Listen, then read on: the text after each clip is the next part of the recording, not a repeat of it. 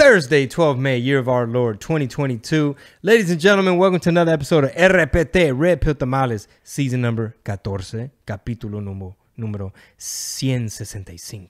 We have a special guest today, brother. Yeah, we do. It was a surprise to me, uh, but it was very interesting, and it's interesting how it came together. The history of it was almost just as interesting as what he's doing. Yeah, Rob asked me before we recorded with uh, with uh, Daniel Levy, who's running. He's a candidate in the Idaho Republican primary for the U.S. House of Representatives.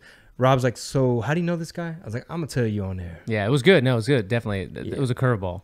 Uh, and we could get uh, we get to have guests and we get to have um, a badass podcast thanks to all the members of the TIA, the Thermal Intelligence Agency. That's right. If you want to join the community, join the Discord and, and unpack and unlock all the weekly podcasts, hit up patreon.com forward slash red pill tamales. Join the community. When you go to a show and you see me live, just be like, member of the TIA, my TIA sent me. I'm an agent. And then you get special perks because you know we're making some special perks if you go if you're a member of the TIA That's you go to right. the show to give people FOMO. That that way everybody else could be like, hey, I I, I didn't get one. You got Not a member of the you TIA, bro. jump in, For sure. Pat- commit. Patreon.com forward slash Red Pill Tamales. Legalized Freedom Tour coming in hot. Uh, next stop, Starting tonight. starting tonight, all weekend long, I will be in Arlington, Texas, Arlington Improv.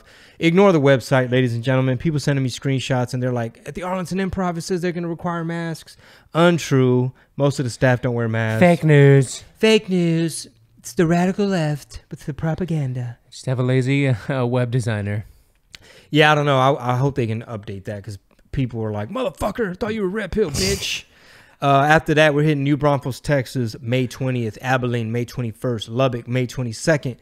Bryan College Station, May twenty eighth. San Angelo, Texas, June third. Odessa, June fourth at the Ector Theater. Come through, represent. Austin, June 9th. A whole bunch of more cities. Hit up the website chingobling.com. We also have Albuquerque, El Paso, Irvine, California, Ontario, California, Denver, Colorado, OKC, Chiraq, Chicago, stand back, stand by, Phoenix, Arizona, San Jose, Brea, Oxnard, San Antonio, Addison, and many more. Chingobling.com. SAS. Bro, we got an actual candidate in the Idaho Republican primary, U.S. House of Representatives. Yeah, and it's somebody that actually is familiar with our area. He was naming streets, and he had a business here, and he was doing what you were doing on that independent-ish back in the day. Dog, I remember Dano when he had a grill. Really? Yeah, he looked like Paul Wall's twin. I mean, when you see him on the Zoom call, just add more beard, add the grill. It's Paul Wall. Wow. What'd it do, baby? I don't think we asked him why he moved. Did he just have other? I mean, he's from. He's originally from Idaho. Oh, okay. okay, Uh, okay. I don't know, like why he like maybe left Houston or whatever. But uh, but yeah, he definitely has roots here. He was out here for a long time in like the heyday, golden era of uh Houston hip hop. Golden era indeed, man. And really cool t-shirt designs. You guys get a chance, check out Algiers. Maybe do a, a, Google search like Algiers clothing. Yeah. And they were. He's a really good artist. Yeah. Yeah, it's really good. I gotta check it out. for sure. Um, yeah, man. So hopefully you guys um, enjoyed this interview, this call in, did a quick hit, uh, catching up with the buddy, and and it's interesting to hear about what issues, you know, people in other states. Other states, yeah. Yeah, and and just from like a marketing standpoint, just hearing him talk about like his vision for Idaho, just kind of like man, if you just boil that down and just kind of focus, like I'm sure it'll cut through the noise of what the other candidates while they're slinging mud at each other and and buying up billboards and everything else. You mess around, kill it with a couple memes or something where Mhm. you know, you know, communicate to the parents and and uh, people that are concerned with everything. Yeah, no, I thought it was super, super cool, and I think we're gonna have more people like that. Not not just from other states, but other candidates. With the primaries happening, with the midterms coming up, hopefully we can book some people who are in these races and uh, can shine some light on things that you won't hear on mainstream media. Absolutely, yeah, man. So, uh, without further ado, check out Daniel Levy, candidate in Idaho Republican primary for U.S. House of Representatives. If you're uh, Idahoan, hey man, go ahead and uh, check him out. Maybe you might want to vote for him. Ladies and gentlemen, we have a special guest on the line. This is RPT Red Pill Tamales, uh, all the way from Idaho, Boise, correct? Uh, Sun Valley, Idaho, technically. Okay, Sun Valley. My bad, brother. That's Uh, okay. We got my boy Dano, aka Daniel Levy. What's up, bro? What's going on, Chingo? Nice to see you, man. Yeah, man. So you're running for what are you running for? for U.S. House Representatives in um, District Two of Idaho. Idaho has two districts, and uh, the place I'm in, Sun Valley, is in the southern part, and so southeastern Idaho is all one district, and then like northwestern Idaho is the other district. So, so to catch everybody up to speed as to like, dude, I've known you forever.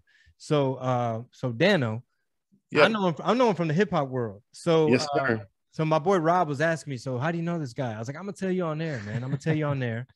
Uh, from the hip hop world, um, in the early 2000s when you know I was running around doing my thing, uh, you know, Dan created this um really cool clothing brand called Algiers, right? It was like a lot of hand, like hand drawn, like cool art, a lot of uh, like characters and different settings, and you know, he had like the the money bag logo with like the Z thing, and uh, collabs with artists like Z-Ro and everybody else. You even had a uh, a brick and mortar like retail store. Yeah, in Third Ward, Houston. Yeah. Yeah, that's where we are right now. We're in Third Ward. Wow. Oh, you are? Okay. Yeah. Where Where was the store? On Scott Street, okay. kind of a little bit a little bit north of Old, uh, Old Spanish Trail. Okay. Perfect. Oh, perfect. Wow. Yeah. So, man, um, so how'd you get into like hip hop clothing based out of Houston?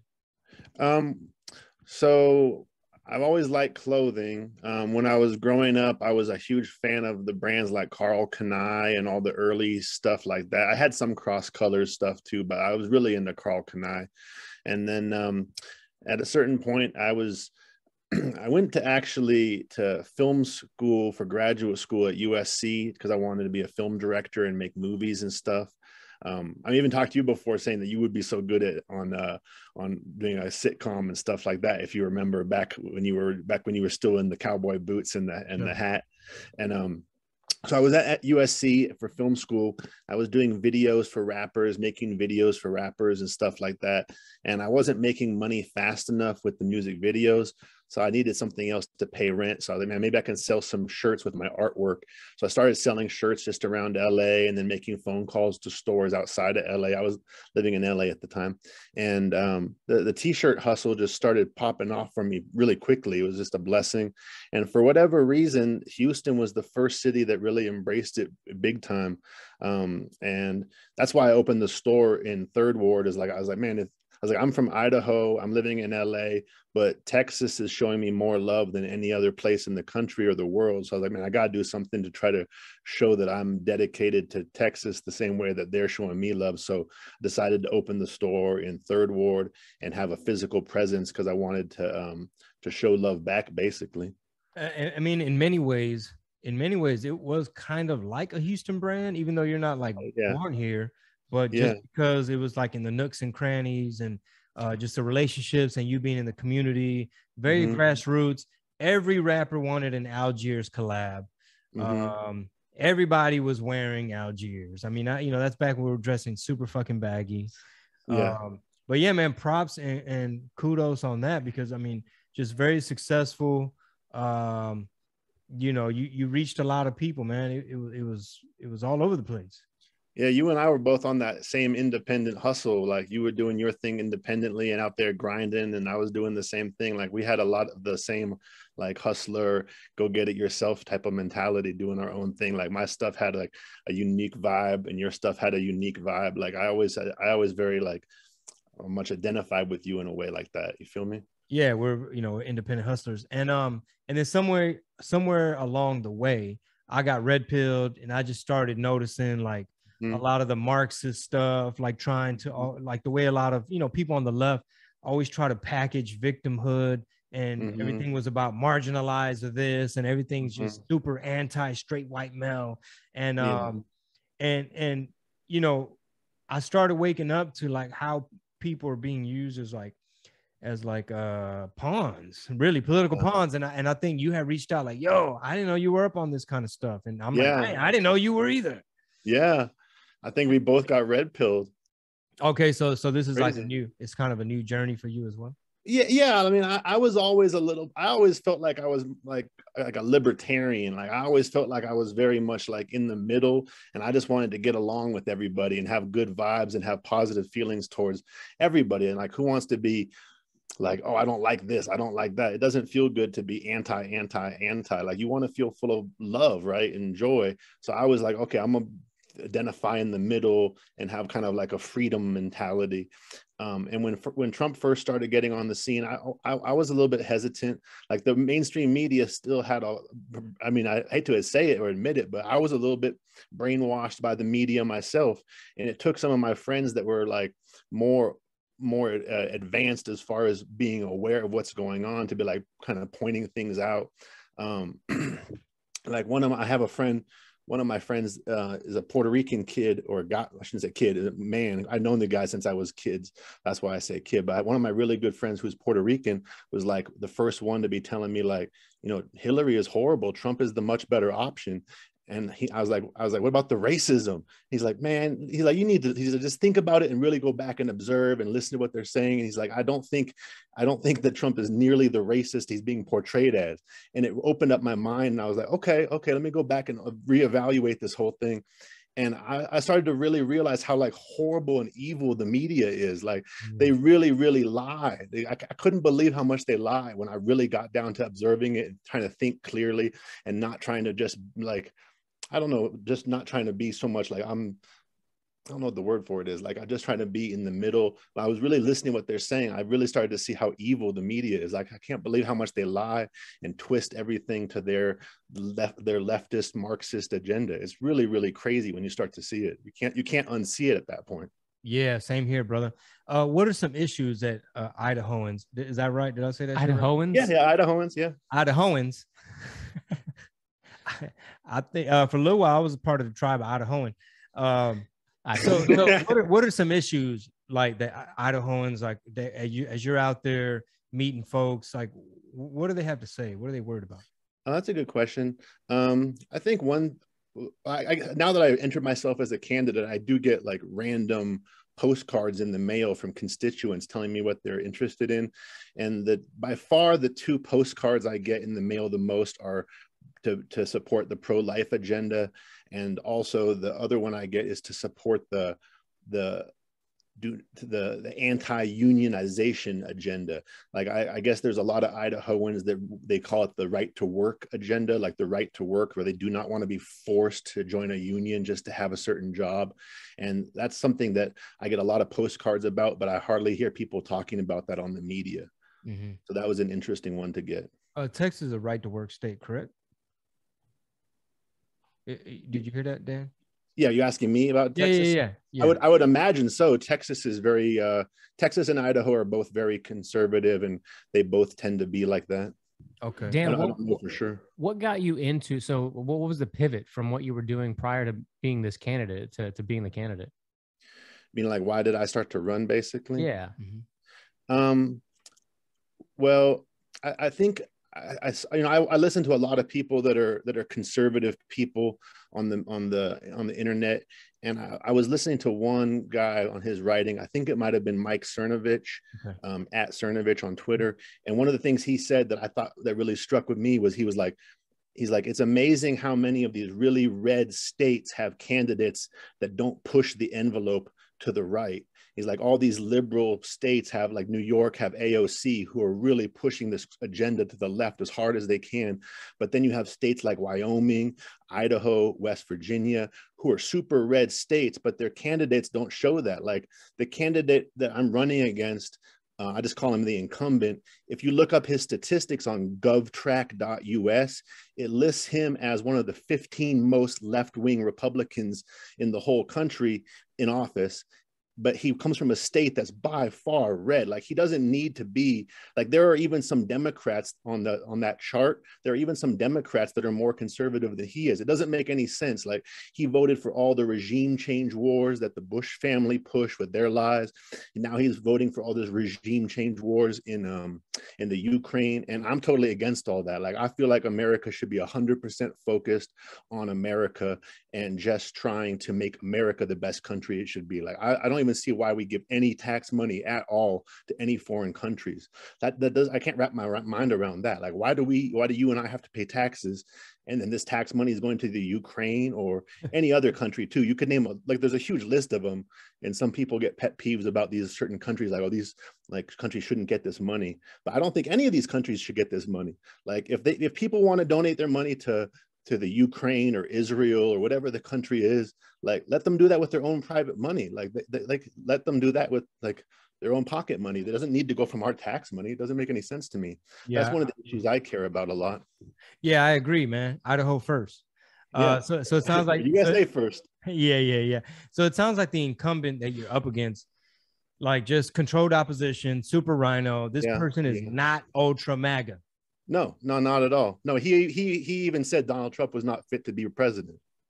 And now he's on his campaign ads. He says, I'm pro Trump. But when Trump first ran, he was like, no, Trump is not fit to even be in office. Like, how are you going to, like, that doesn't make any sense. Hmm. Well, it sounds one, like. Uh-huh. I say one thing. One other issue I, I really care about too is the education issue, and I, I think that the whole education system needs to be just like I, I believe in school choice to the to the nth level. You know what I'm saying? Like I feel like any parent should have the right to take their portion of the tax money that's raised for education and spend it on whatever they want. Like if it's homeschooling, spend it on homeschooling. If they want to hire private tutors, hire private tutors. If they want to put their kid in private school or charter school or religious school, whatever they want, they should do that. I feel like the monopoly on the public school system is one of the biggest things that holds our people back. Oh yeah, that's a that's a big uh that's a big conversation. It's very important because of the amount of woke stuff uh the amount of like these uh over sexualization like mm-hmm. these some of the books in the libraries uh mm-hmm. my wife has a podcast she had a guest on where this lady uh htx kids 1st mm-hmm. on on instagram uh she's a concerned parent taxpayer and she goes up to those um you know the student board meetings and and is you know calling for um you know the, the left tries to flip it into like the conservatives are book banning you know they're banning books and it's like no yeah. it's like a bunch of porn in these yeah. little fourth grade libraries it's, um, it's you wouldn't i wouldn't have believed that when i was a kid that they're doing it like that it's insane yeah man there, there's definitely a radical agenda at play and it, it sounds like um a lot of what you stand for is going to resonate with Idahoans. So. Man, I appreciate you saying that, bro. Yeah, I mean, because if the alternative is like a, a never Trumper RINO who yeah. who is like super left. And and you know, I've I've been to Idaho a few times and and yeah, I can it totally strikes me as like most of it being conservative. Mm-hmm. Um, what are the exceptions? Would like oh my county. I live in the exception. That's the crazy thing. I live in a county called Blaine County, which is super leftist, libtard, hmm. crazy Democrat county. And like i don't even usually talk about politics too much to most people because the people here are so left. Like i don't when i go to the grocery store i'm not talking to people about politics most of the time unless i see they're wearing something that indicates that they're you know more on the right. But like yeah my, my county is super left. It's crazy to see all the ideas the local politicians push are always bad leftist ideas. It's really crazy to me to like I, I live in the one liberal county in a huge red state. So like when I've been running, a lot of the local Republican groups in other counties are been like they're kind of even surprised that I'm running because they think like everyone in my county is left. Yeah, you got to go in the belly of the beast, man. And um, a lot of times, traditionally, Republicans they're afraid to misspend funds by mm-hmm. going into like the Rio Grande Valley or like, oh, that's very minority or uh, there's a bunch mm-hmm. of Mexicans down there. They're not going to want to hear what we got to say. And you'd be surprised only because, yeah. like, in the example I just gave, I mean, a lot of Latinos are kind of like not pro abortion, mm-hmm. they're more pro life. Oh, yeah there my my my dad showed me an article when I was a teenager. I think it was from the Wall Street Journal, and it was an article discussing political values of urban youth. And it was this article where they went into the hood and they showed all these young, you know, when they're saying urban, you probably imagine that they're black. So you're showing all these young black kids um, like questionnaires, asking them questions like, "Do you believe in abortion? Do you believe in school choice?" And they didn't talk about the political parties at all. Like they just did this whole thing where they went issue by issue by issue and on almost every issue, the urban youth all agreed with the conservative principles and the conservative values, which was like, it opened my mind. It always has stuck with me ever since I was like a teenager. So like 30 years ago, I read this article, but it was saying basically that on all the all, all the individual issues, like the urban youth actually agree with the conservative ideas because they're simpler and they make sense but somehow in the education system they get pushed into thinking that democrat party is the is the party that you go to if you're not a racist which is crazy. And then when you really look at the ideas of the democrat party they are far more racist. Racist as fuck. Yeah it's, it's unbelievable when you really look at the issues. I think that might be the best way to red pill people is to like have a, a simple questionnaire about like mm-hmm. Different policies, like whether like education, economy, things of that nature. And mm-hmm. at the mm-hmm. end, just be like, oh, congratulations, you're a Republican. yeah, yeah, it's true.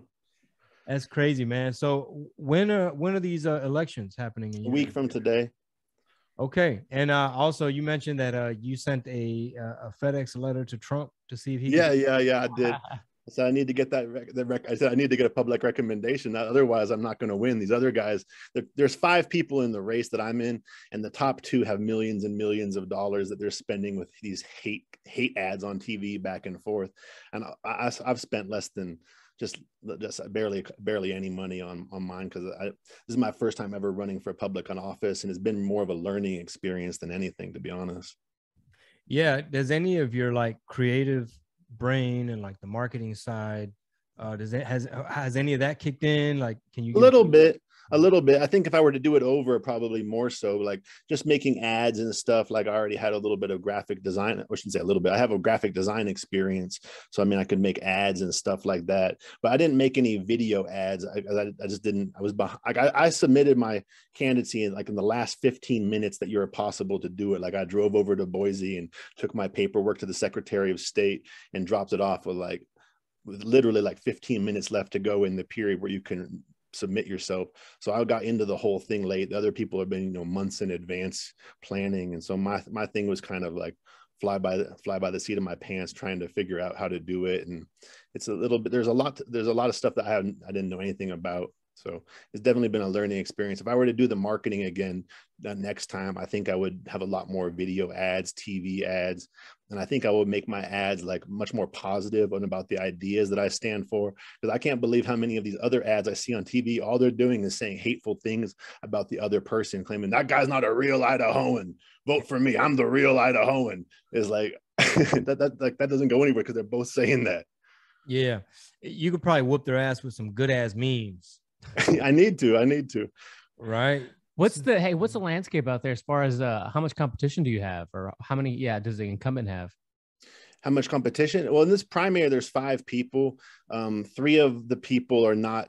I don't. So myself and two other people I don't see very many ads for. I've run some ads, but not very many. And so the incumbent has one other main person that's spending a lot of money that is that they're saying these hateful things back and forth. But this is like the real election in Idaho. Like the, the November election for the federal positions doesn't really mean anything. Like the Republicans are going to win everything on the ballot in November. So when it comes down to real change, it's really like the primary um, election that would that would bring the change. So like I'm figuring I'm, I'm I feel like this is like a learning experience and like maybe in two years when the, the next go around I would be able to do a much better job.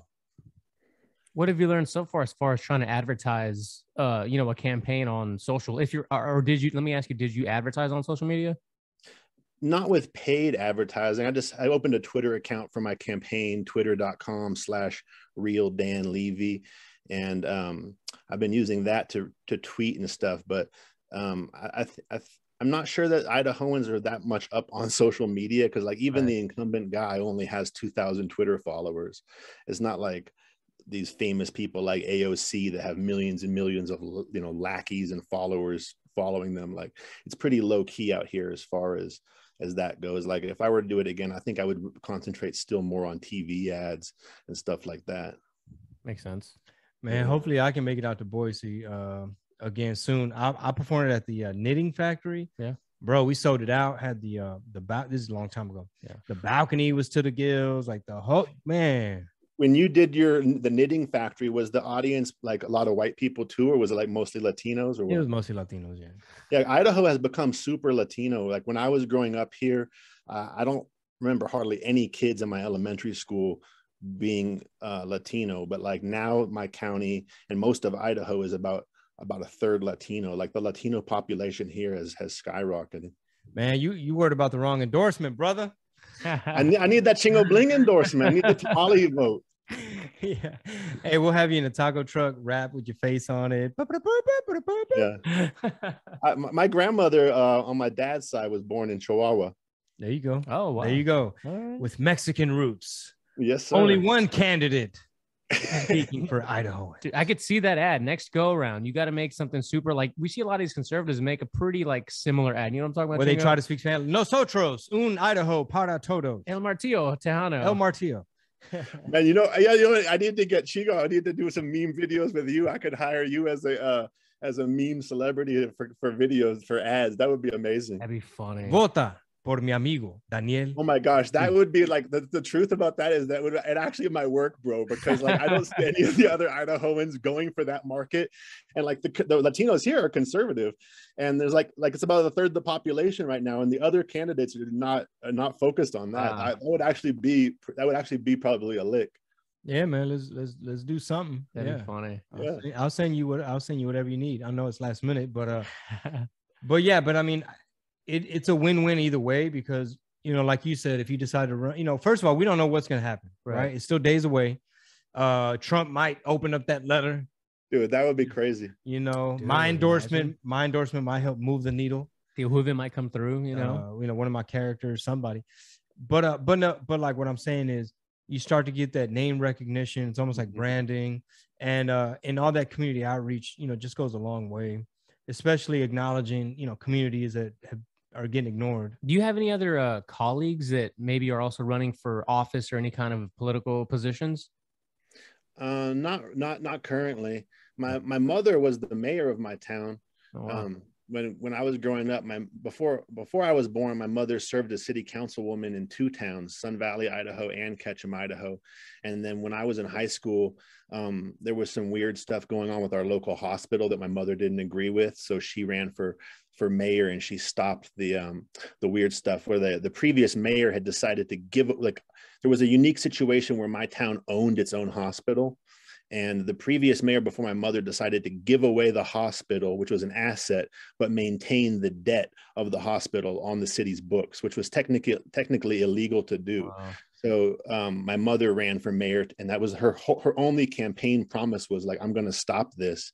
And it was really crazy to see how much hate came her way when like she got elected by far more people voted her for her than the other person. And um, she only had one campaign issue so she got elected on that issue that the people wanted her to do. She stopped it within a year where they, they still gave away the hospital, but they gave away the debt too. So she stopped the one thing in a year that she said she was going to do.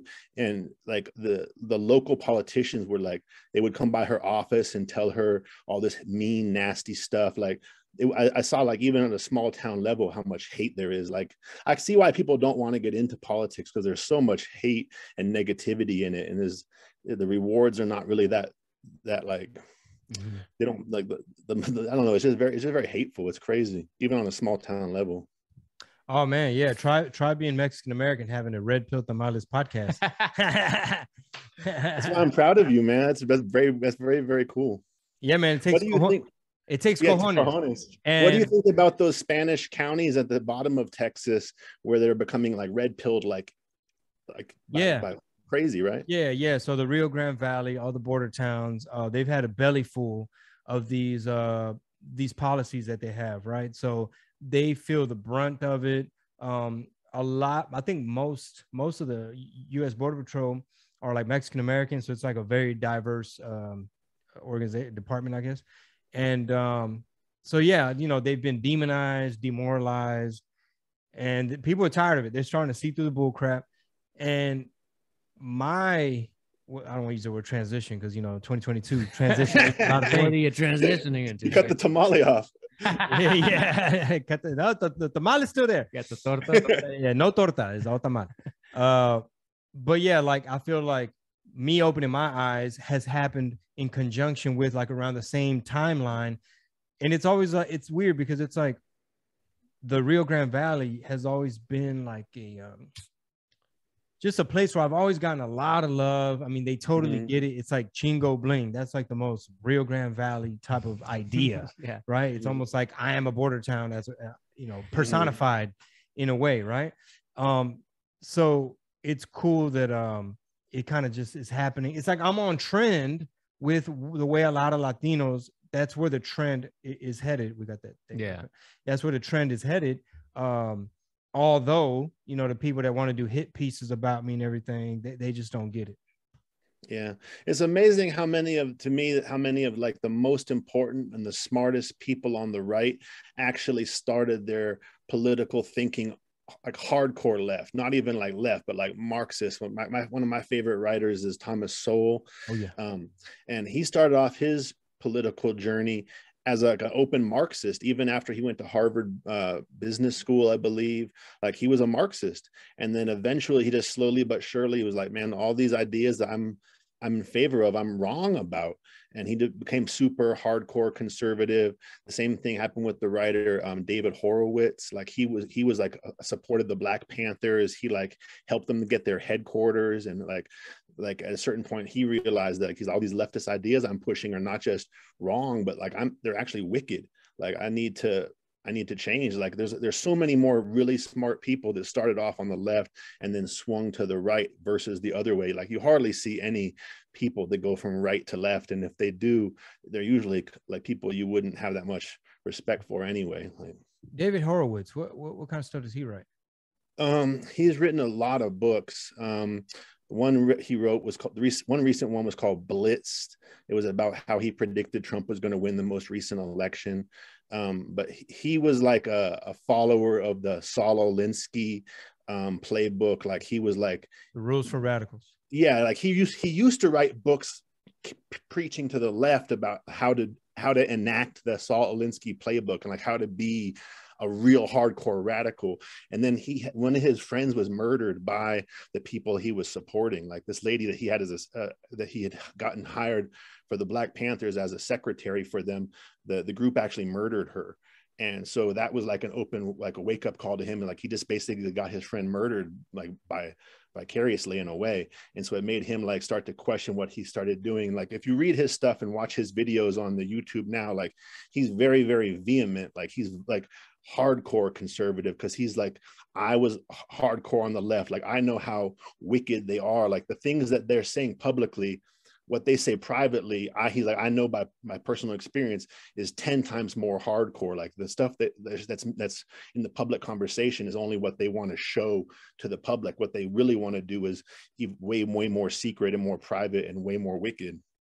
So so your vision for idaho what what would you you know whether you're in charge or someone else uh, regardless mm-hmm. like what what would your what would be your ideal vision for the future of idaho?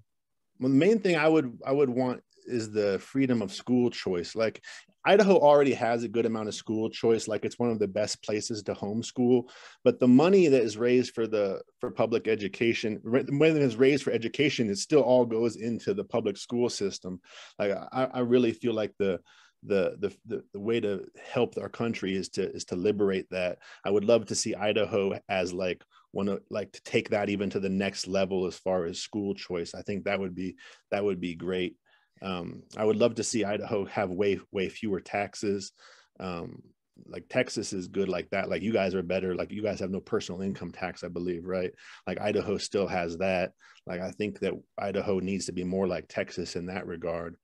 Um, I would like to see, we already have constitutional carry, so that's good.